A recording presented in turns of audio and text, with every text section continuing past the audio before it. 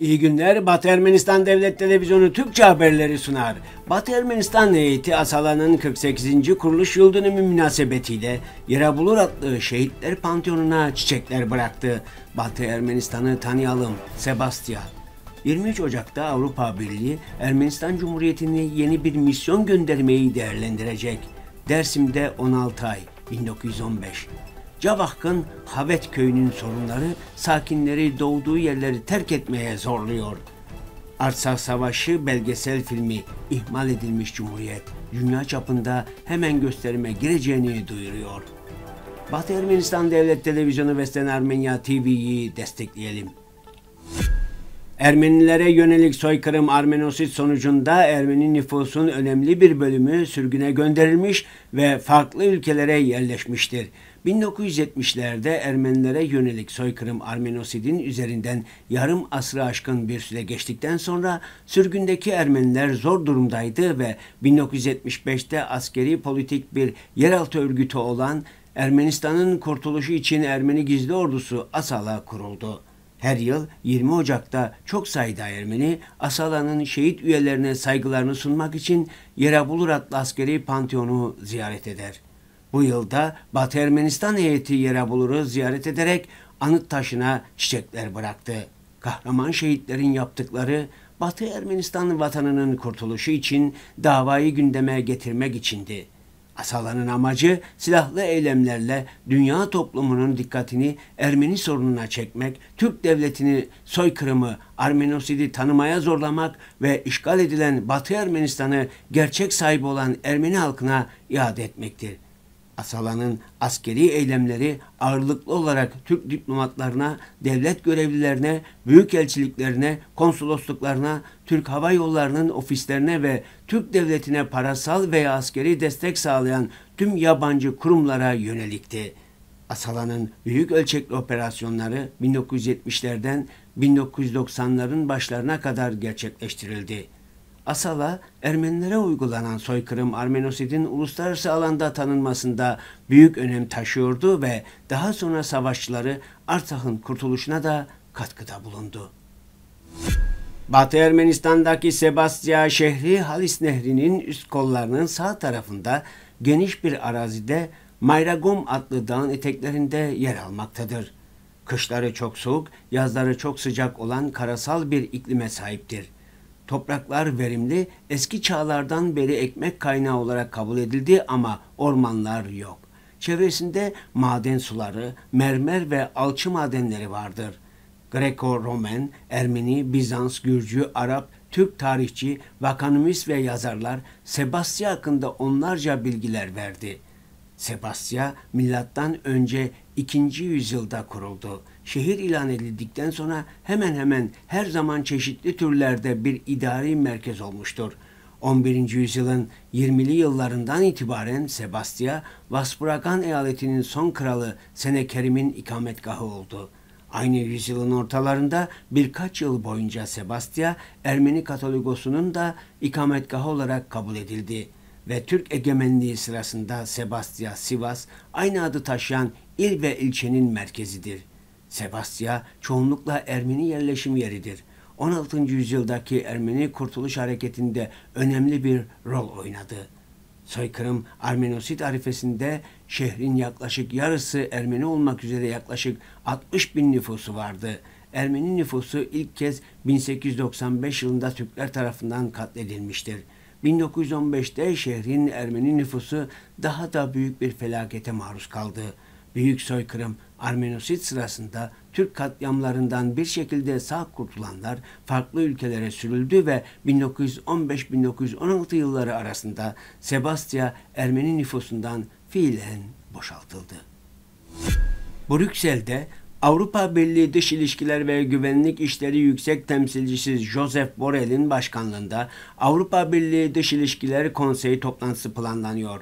Avrupa Konseyi'nin resmi internet sitesinden diğer konuların yanı sıra bölgedeki durumun düzelmesine katkı sağlanması gereken Ermenistan Cumhuriyeti'ne yeni bir misyon gönderilmesi konusunun görüşüleceğini öğreniyoruz. Üst düzey Avrupa Birliği yetkililerinden biri bakanların bölgede istikrarı desteklemek için bir misyon oluşturmaya karar vermesi bekleniyor dedi. Diplomata göre Avrupa Birliği Berzor koridoru çevresinde meydana gelen olayları endişeyle izliyor ve durumu çözmek için çaba harcıyor. Avrupa Birliği tarafından gösterilen çabalar hedeflenenden daha fazla olmalıdır. Hatta işgalci Azerbaycan'a karşı kaba kuvvet kullanılmalı. Şu anda 120 bin yerli Ermeniyi rehin tutan ve orada ciddi bir insani krize neden olan Azerbaycan'a saldırgan ülke olarak Birleşmiş Milletler tüzüğüne göre yaptırımlar uygulanmalıdır. Bu yazının konusu tarihte büyük bir yıkım yaşamış olan Ermenilerle ilgilidir. Daha doğrusu olaylar sırasında onlarca komşu olan Dersimlilerin tavrıyla ilgilidir. Onlar ölüme sürüklenirken komşuları olan Dersimliler ne yaptı? Toplum olarak mesuliyetleri neydi? Komşularının malına, canına kastettiler mi? Vebal aldılar mı? Ya da kulaklarını kapatıp yok mu saydılar onları?'' Kısacası Yukarı Fırat Ermenileri 1915 senesinde 16 ay kaldıkları Dersim'de neler yaşadılar? Cihan Şan'ın yazdığı makalenin tamamı web sitemizde mevcuttur. Havet, Ahalkalak Belediyesi'nin ücra ve küçük köylerinden biridir. Şehirden uzak olması, doğalgaz olmaması, yolların kötü durumda olması, iş ve gençler için istihdam alanlarının olmaması, işgal altındaki Batı Ermenistan'a çok yakın olması, Havetlileri köylerini terk etmeye zorlayan sorunlardan bazılardır. Köylüler kendi yaşadıkları zorlukları çocukları yaşamasın diye daha iyi bir hayat arayışı için köyden göçüyorlar.'' Habet'teki köylülerin temel geçim kaynakları hayvancılık ve çiftçiliktir. Habet'in çocuklarının çocuklukları daha başlamadan biter. Küçük yaşlardan itibaren çocuklar zorlu tarım işleri yaparlar. Köylülerden birinin de belirttiği gibi doğdukları yeri ne kadar da sevseler sorunlar köyü terk etmeye zorluyor. Gençler için meşgale yok. Şu anda Havet köyünde 55 ailenin yaşadığını, 2000'lerde ise 100 ailenin yaşadığını belirtmek gerekir. Ermeni Genel Hayırsever Birliği ve Yaratıcı Ermenistan Örgütü, Artsak'ta devam eden insani kriz nedeniyle Artsakh hakkında bilinçlendirme ve eğitim kampanyası başlatıyor. Artsakh Cumhuriyeti'nde yaşayan 120 bin Ermeniyi giderek derinleşen gıda, sağlık ve insani krizde karşı karşıya bırakan Azerbaycan'ın Berzor bölgesini abluka altına alması nedeniyle ihmal edilmiş Cumhuriyet adlı filmin yapımcıları filmi dünyanın her köşesinde dijital olarak sunmaya karar verdiler.'' Filmin gösterime girmesiyle birlikte Ermeni Genel Hayırsever Birliği ve Yaratıcı Ermenistan girişimi bir bilinçlendirme ve eğitim kampanyası başlatıyor. Londra, Madrid, Berlin, Zürih ve diğer şehirlerde devlet kurumlarının insan haklarının korunmasıyla ilgili kuruluşların ve eğitim kurumlarının temsilcileri için gösteriler düzenleniyor. Filmin fragmanını buradan izleyebilirsiniz dijital izleyiciler için çevrim içi etkinlikler düzenlenmektedir. Zoom canlı tartışmasına 24 Ocak Artsakh saatiyle 23'te, Los Angeles saatiyle 11'de, New York saatiyle 14'te, Paris saatiyle 20'de katılabilirsiniz. Lütfen buradan kaydolun. Sevgili yurttaşlar ve sevgili soydaşlarımız, Batı Ermenistan'ın kaderiyle ilgilenen adanmışlar. Bugün bu büyük jeopolitik olaylar girdabında her zamankinden daha fazla birleşmeye, birbirimizi desteklemeye, birbirimizle daha yakın iletişim kurmaya ihtiyacımız var. Bugün milletimizin bütünleşmesine ve kendi haklarımız için mücadeleye gerçekten katkı sağlayan, talepkar olan çok az sayıda yapı mevcut.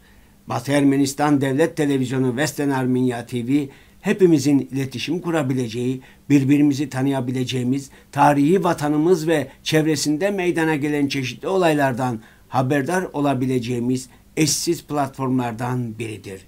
Desteğiniz bilgi alanını daha da genişletecek ve atalarımızın ihlal edilen haklarının korunması, haklı davanın yeniden elde edilmesi için daha net ve güvenle mücadele edecektir.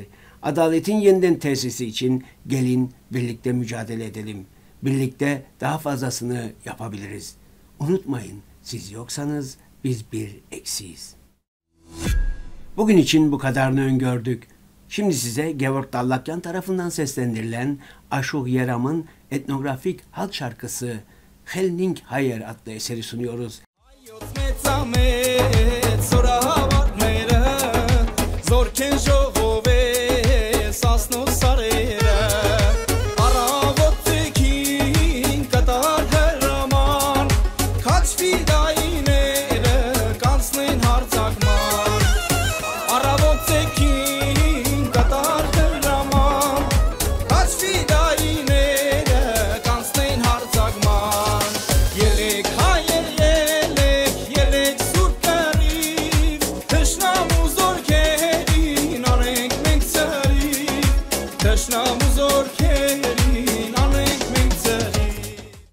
Eserin tamamını Batı Ermenistan Devlet Televizyonu'nun resmi sitesinden izleyebilirsiniz. Hoşçakalın.